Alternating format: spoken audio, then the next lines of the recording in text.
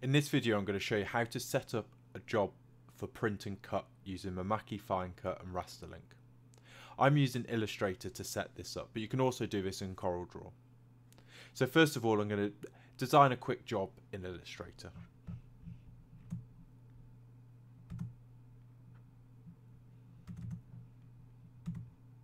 So I'm going to bring in our logo. There we go.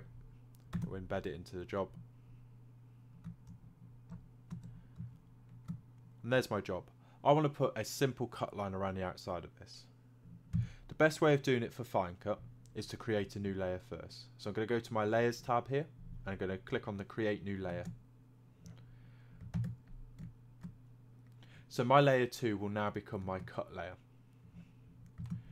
So I'm going to make a box. This will go around the job. I'm going to take the fill out. I'm going to add a stroke as well. There we go. So this is this is all the setup I really need to do. So the last thing I'm going to do is I'm going to send it to Fine Cut. To do that, I'm going to go to Window. I'm going to go to Mimaki Fine Cut. And then because I want to print and cut this job, I'm going to send it to Rasterlink. I'm going to click the output to Rasterlink button. And you'll now see that we have layer 1 and layer 2 down here. In here we can choose whether we want to print the layer or whether we want to cut the layer. So I know that layer 1 is my just my Signmaster Systems logo. I also know that layer 2 is just the box around the outside. We wanted to cut the box but not to print it. So I'm going to click on the cut icon in there. And I'm going to remove the print icon. I'm going to leave just the print icon on layer 1.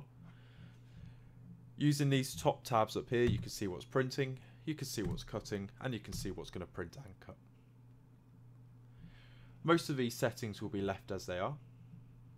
The sheet size can be determined when we go into Rasterlink Offset and all those things can also be determined then. We can mirror it now if we wanted to. We can also do that in Rasterlink. You can tell it to auto cut after this job. Again, we can do this after Rasterlink. I'm going to press output. I'm going to press OK on these.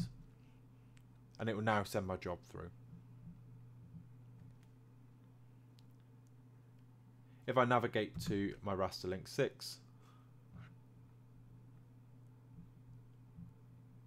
you'll see it start to monitor my hot folder and then it starts to bring my job in. And there we go. And that, that's ready to set up and go.